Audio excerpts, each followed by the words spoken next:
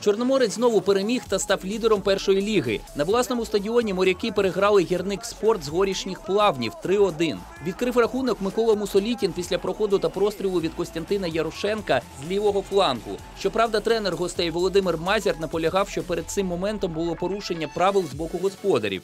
Команда Чорноморець має хороших гравців, пройшла певну школу, але трошки велика розкіш була пропустити на п'ятій хвилині м'яч, хоча, ну, якщо зараз дивився повтор, там було порушення проти нашого гравця, був толчок спину. Ну, знаючи того суддю, який сьогодні судив, я думаю, що, як каже, no comment.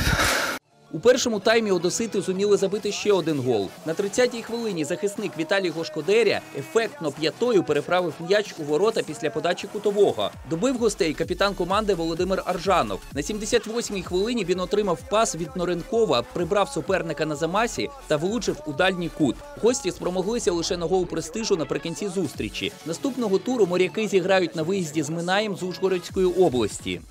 Команда выглядела так, с- как сказать, лучше на, на, на поле и заслуженно победили. Но я думаю, что э, мы еще не, не готовы и в тактическом плане, и в физическом плане. Так что у меня есть и серьезные замечания, но это будет потом в раздевалке.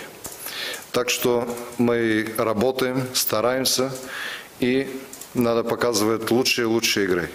Додамо, що фан-сектор був порожнім. Як повідомили Ультрас у соцмережах, керівництво клубу в односторонньому порядку ухвалило рішення розірвати відносини з фанатським рухом чорноморця. Тобто фан-сектор, начебто, заблокували для них, і фан-рух зняв із себе відповідальність за подальшу поведінку вболівальників на домашніх і виїзних матчах. У свою чергу клуб на офіційному сайті виклав меморандум про взаєморозуміння і взаємодію з представниками Ультрас. Цей документ не знайшов підтримки у фанатів. Численні зустрічі керівництва клубу з лідерами фанатського руху не призвели до консенсусу.